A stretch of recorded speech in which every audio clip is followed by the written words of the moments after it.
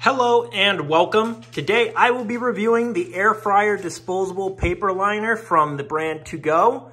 So we purchased these because we use our air fryer basically daily. I mean, it's it's, the, it's uh, something we need a lot for quick foods and lunches and dinners for my two children as well as myself.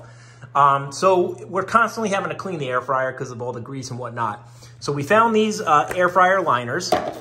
They're very thin. They're basically made of parchment paper. And they sit perfectly right into the bottom of the air fryer, like so.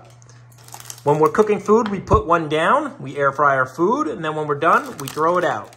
This comes in a pack of 100.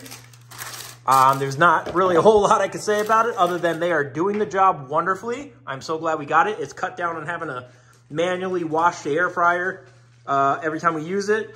Um, so I overall, I'm very happy with this product and I would highly recommend picking some of them up if you have an air fryer.